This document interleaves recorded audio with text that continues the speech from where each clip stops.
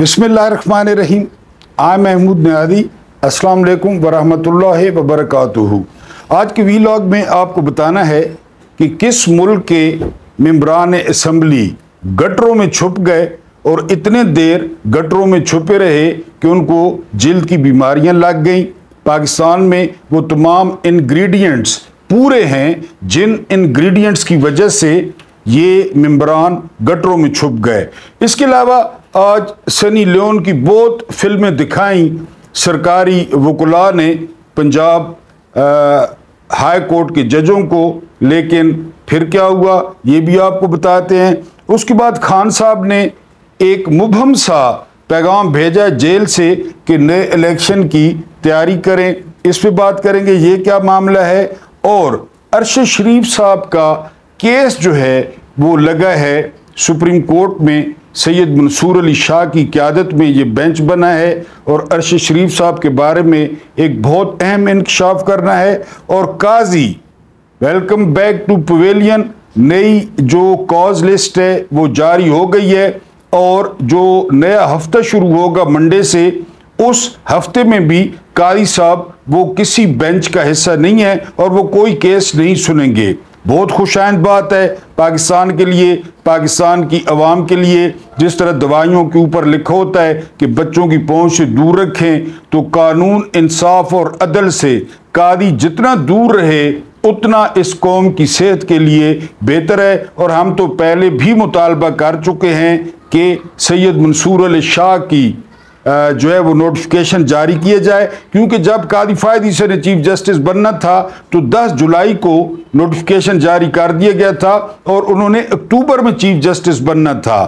تو اب بالکل سیم سچویشن ہے۔ منصور علی شاہ کا نوٹیفکیشن جاری کیے جائے تاکہ سپریم کورٹ پہ جتنے بھی چھائے بادل ہیں، جتنی سازشیں ہیں، جتنی غلام گردشوں میں ہونے والی کھچڑی ہے، اس کا خاتمہ ہو اور قاری صاحب جلد سے جلد وہ جو تاریخ کا کوڑا دان ہوتا ہے، اس کا حصہ بنے۔ بارہ لگلے ہفتے وہ کسی کیس میں نہیں بیٹھیں گے اور یہ قوم کے لیے بہت اچھا ہے۔ اب آپ کو بتاتا ہوں کہ جب یہ ارکان اسمبلی اگر گٹروں میں چھپیں تو کتنا مزہ آئے گا۔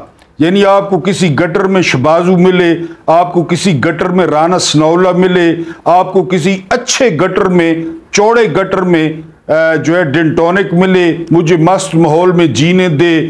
اور گٹر بھی جو ہے وہ اسی چیز کو ہو جو آپ سمجھ رہے ہیں، تو یہ آپ کو قصہ سناتا ہوں کہ کب یہ گٹروں میں چھپے اور یہ کب چھپیں گے۔ یہ وہ زمانہ تھا جب لوگ چھوٹے چھوٹے گروہوں میں اکٹھے ہونا شروع ہوتے۔ پہلے اسی طرح ہوتا ہے، ان کو سمجھ نہیں آتی۔ جی اس کے بعد پورا پیرس سڑکوں پر نکل آیا۔ وہ سمجھتے تھے کہ پہلے یہ چند ہزار لوگوں کا گروہ بادشاہ کے ساتھ مل کر ہم پر حکومت کرتا تھا۔ اب یہ چند ہزار اسمبلیوں کے ذریعے ہم پر ظلم کر رہے ہیں۔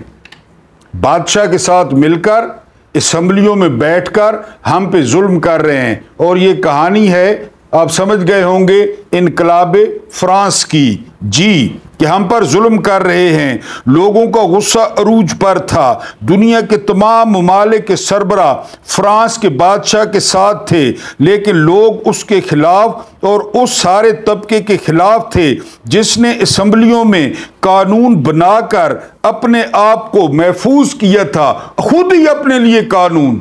ان کو دیکھتے ہیں نا، نیب کے قانون بدل دیے، سپریم کورٹ کے قانون بدل دیے، سپریم کورٹ میں ججوں کی تعداد بڑھائی جائے ایڈہاک جج لائے جائیں، اپنے فائدے، بجائے اپنے آپ کو بدلنے کے، وہ ڈاکٹر صاحب نے کہا تھا، ڈاکٹر اقبال نے کہ خود بدلتے نہیں، قرآن کو بدل دیتے ہیں۔ ان میں اتنی جرت تو ہے نہیں کہ یہ قرآن کو بدلیں، یہ ملون، یہ قانون بدل دیتے ہیں۔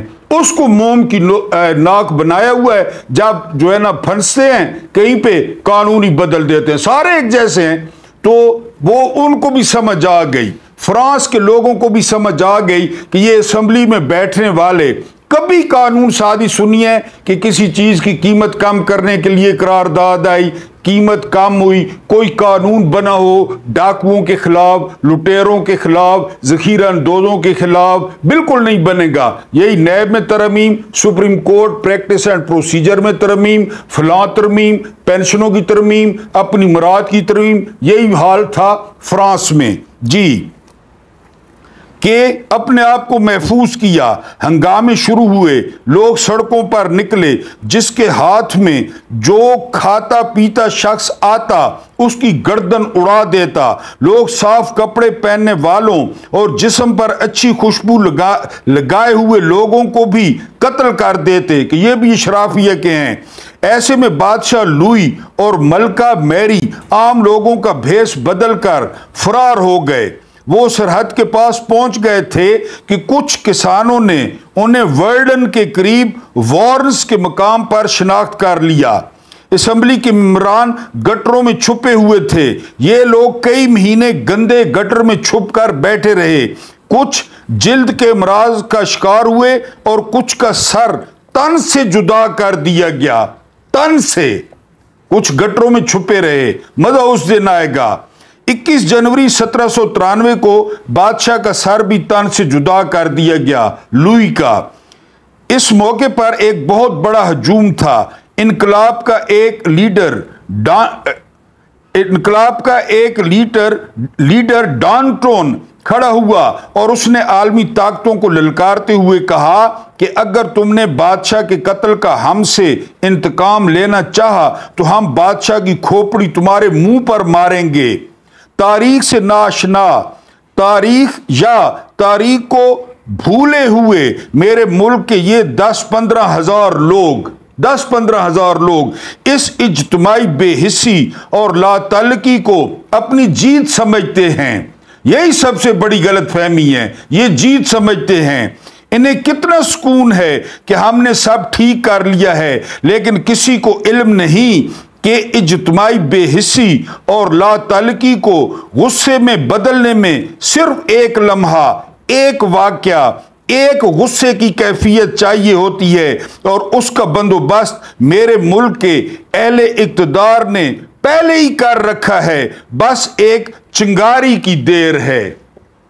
وہ چنگاری کب اور کہاں پھوٹ پڑے، وہ کشمیر میں آپ نے دیکھا تھا۔ لوگوں کو، بنو میں آپ نے لوگوں کو دیکھا، میں نے آپ کو بتایا ہے کہ اوپر اللہ پاک ہوتے ہیں، ان کا جو ہے با، ان کے بعد ان کا آخری نبی رسالت ماب صلی اللہ علیہ وآلہ وسلم ان کا مقام ہے، پھر خلق خدا۔ پھر خلق خدا راج کرتی ہے۔ نہ کوئی ٹینک رہتے ہیں، نہ کوئی توپے رہتی ہیں، نہ کوئی جی تھری رہتی ہیں۔ ذرا ترکی والا یوٹیوب پہ نکال کے دیکھیں۔ طیب بردگان ترکی میں بھی نہیں تھے۔ آپ دیکھیں لوگوں نے کیا کیا۔ تو یہ اسی طرح ہوتا ہے۔ اور ہم اس دن کا انتظار کر رہے ہیں کہ جب یہ لوگ ہمارا مذاق اڑانے کے بجائے پریس کانفرنسوں میں اور یہ گٹروں میں چھپے ہوں گے اور ان کو کہیں پناہ نہیں ملے گی اور یہ جو ہے وہ لوگوں کے ہاتھ ہاتھ چڑھیں گے۔ اب میں نے آپ سے بات کی عرش شریف کی۔ عرش شریف کا کیس بڑے عرصے بعد، تقریباً ایک سال بعد عرش شریف کا کیس ٹیک اپ ہوا ہے اور اس کی سماعت کریں گے۔ سید منصور علی شاہ اس کے ہیڈ ہیں۔ اس کے علاوہ جسٹس افغان صاحب اور جسٹس eh, شاہد بلال۔ یہ تین رکنی بینچ کل سماعت کرے گا اس eh, کیس کی۔ اور جو اہم ترین انکشاف کیا ہے وہ عرش شریف کی۔ اہلیہ نے کیا ہے جویری صدیق نے کہ عرش شریف کی نگرانی ہو رہی تھی۔ عرش شریف کا پیچھا ہو رہا تھا، لیکن عرش شریف جو ہے وہ کسی نہ کسی طرح سروائیو کر رہے تھے۔ لیکن ان کی اہلیہ کہتی ہیں کہ جب شباز گل گرفتار ہوئے اور شباز گل کے ساتھ جو سلوک ہوا کہ ان کو برہنہ کیا گیا، اس کے بعد آزم سواتی ٹی وی پہ آئے، وہ روئے کہ ان کو برہنہ کیا گیا۔ اس کے علاوہ ایک اور بندہ ڈرائیور آیا، اس نے بتایا اس کے ساتھ وزن لٹکایا گیا۔ تو عرش شریف کو جو آخری پیغام ملا تھا، وہ یہ پیغام ملا تھا کہ ہم آپ کو اب ننگا کریں گے۔ جویریہ کہتی ہیں کہ اس کے بعد عرش شریف نے کہا کہ اب اس ملک میں رہنا وہ ناقابل برداشت ہے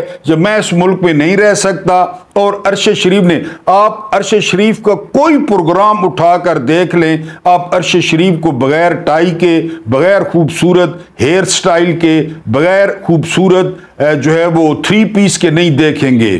کہ وہ خوشبو جیسا شخص وہ کس قسم کا تھا؟ اس کی بالکل اور طبیعت تھی۔ اس کا بولنا، اس کا ہنسنا، دوستوں کے ساتھ اس کے تعلقات، وہ بہت ہی جو ہے وہ عجیب قسم کا بندہ تھا۔ تو جب اسے پتہ چلا کہ اسے ننگا کیا جائے گا اور ملک کی مقتدرہ جو ان کی محافظ ہے، وہ اسے ننگا کرے گی، اس کی ویڈیو جاری کرے گی، تو پھر میرے یعنی میری ذاتی رائے ہے کہ عرش شریف نے مرنے کو ترجیح دی کہ ٹھیک ہے جی یہاں سے نکلتا ہوں، دبئی پھر دبئی پہ دباؤ ڈالا گیا، پھر کینیا اور کینیا میں کیا ہوا؟ وہ پچھلے دنوں ایک بہادر جج نے وہ فیصلہ بھی دیا عرش شریف کے حق میں۔ تو یہ جویری صدیق نے انکشاف کیا ہے کہ عرش شریف کو جو آخری دھمکی ملی تھی، وہ ننگا کرنے کی دھمکی تھی۔ کاش ہم اپنے دشمنوں کو، کاش ہم مشرقی پاکستان کا بدلہ لینے کے چکر میں دشمنوں کو ننگا کرنے کی دھمکی دیتے تو پوری قوم جو ہے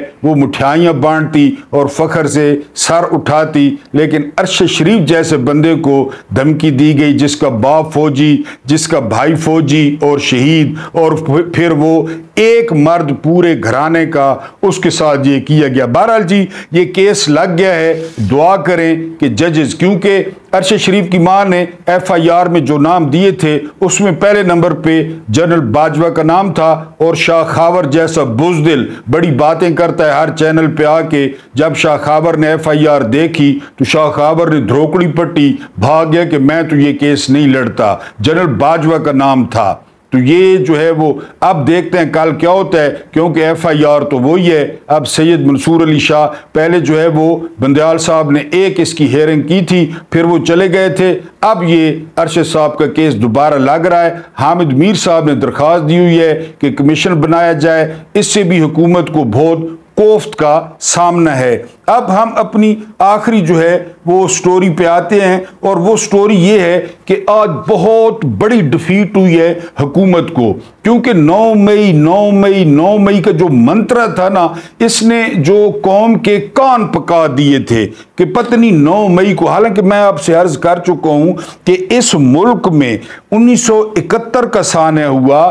اس ملک میں اے پی ایس کا سانح ہوا، اس ملک میں سلالہ کا سانح ہوا، جنرل کیانی کے دور میں اس ملک میں ایپٹ آباد کا سانح ہوا، جب ٹوٹلی بریچ کی گئی جو ہے نا وہ ہماری سیکیورٹی اور ہماری ایئر سپیس، اس کے علاوہ جہاں پہ ہزاروں ڈرون حملے ہوئے ڈما ڈولا میں، باجوڑ میں، جو اسی بچے شہید ہو گئے اور بالکل جو ہے وہ اس پہ معصوم کوئی جرم نہیں تھا۔ بعد میں امریکہ نے بھی تسلیم کر لیا کہ غلطی ہوئی ہے۔ غلطی سے تراسی بچوں انہوں نے مار دیا اور پھر مشرف نے شاہ سے زیادہ شاہ کا وفادار بنتے ہوئے کہا کہ یہ حملہ ہم نے غلطی سے کیا ہے۔ تو یہاں کون کون سا سانیہ نہیں ہوا؟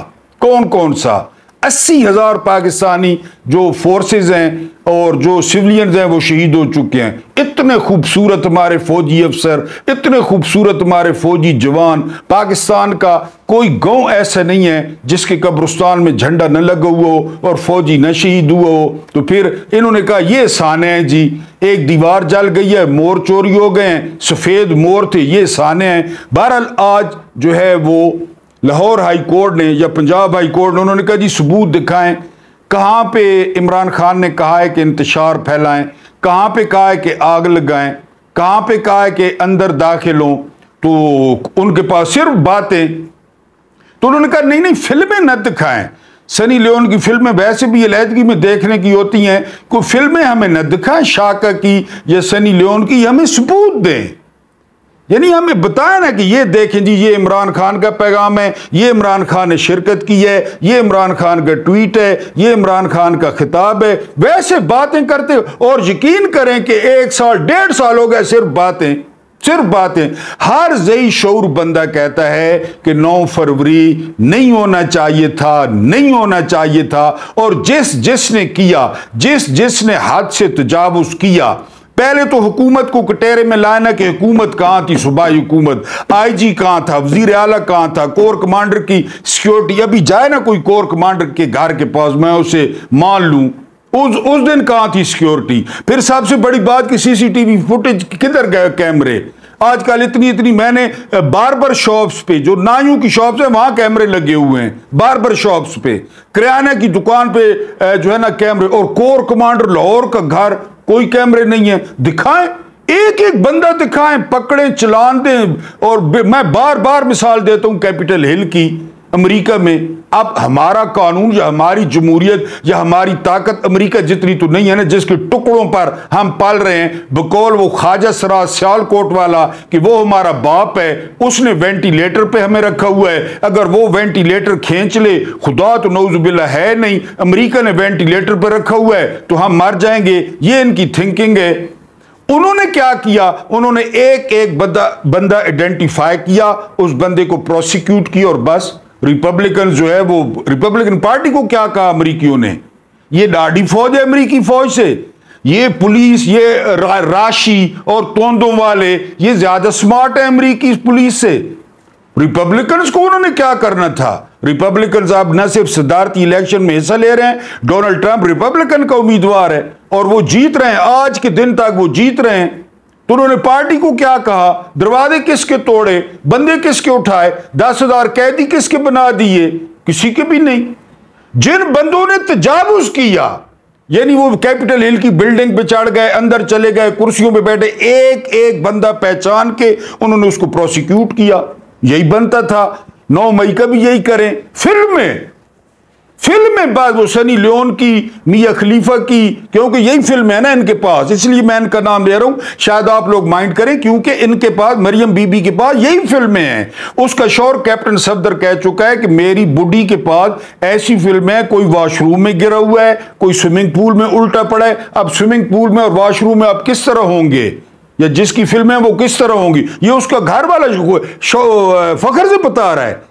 کہ میری بیوی میری بیوی بیوی نمبر ون ہے، جس کے پاس ٹوٹے ہیں، ٹوٹے، اور سوئمنگ پول کے ٹوٹے، واش روم کے ٹوٹے، بندوں کے اندر سے جو ہے نا وہ سانپ نکل رہے ہیں اور ٹوٹے بنے ہوئے ہیں میری، وہ فخر سے بتا رہا ہے کہ میری گھر والی کے پاس ٹوٹے ہیں۔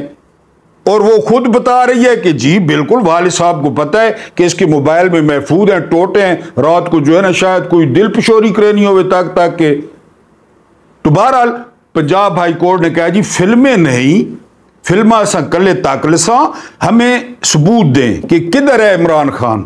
تو بہرحال جی انہوں نے وہ ریمانڈ سسپینڈ کر دیا کالعدم کر دیا۔ بالکل روز بروز عدلیہ اپنی سپیس لے رہی ہے۔ عدلیہ ڈراوے میں نہیں آ رہی۔ عمران خان کو سپیس مل رہی ہے اور بہت جلد آپ دیکھیں گے کہ عمران خان جو ہے وہ باہر ہوں گے، یہ جو مرضی ہے کر لیں۔ میں نے ان کو اپنے وی لاگ میں چیلنج دیا تھا کہ پی ٹی آئی پر پابندی لگا کے دکھائیں۔ آپ کا باپ بھی پی ٹی آئی پہ پابندی نہیں لگا سکتا، آپ کا دادا بھی پی ٹی آئی پہ پابندی نہیں لگا سکتا۔ لگائیں نا، چیلنج ہے آپ کو۔ لگائیں پی ٹی آئی پہ پابندی، آپ کو پتہ چلے۔ ادھر آج الیکشن کمیشن نے باریک واردات ڈالی ہے۔ بہرحال پی ٹی آئی کو جماعت تسلیم کر لیا گیا یہ بہت بڑی بات ہے۔ انتالیس بندوں کو نوٹیفکیشن وہ اپلوڈ کر دیا ہے۔ لیکن باقی جو بندے ہیں، کہ جی ہمیں سمجھ نہیں آئی۔ بنی اسرائیل کی طرح کہ جی سپریم کورٹ وضاحت کرے کہ باقیوں کو کیا کرنا ہے۔ کریں گے۔ یہ بڑھ کے ہیں۔